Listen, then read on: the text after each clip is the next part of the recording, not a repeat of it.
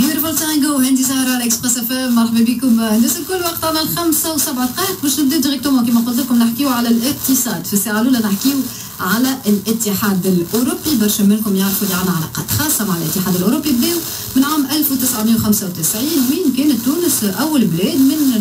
المتوسط من جنوب المتوسط تصحح على هالاتفاقيه هذيا ومن بعد في 2012 تونس تحصل على ستاتيو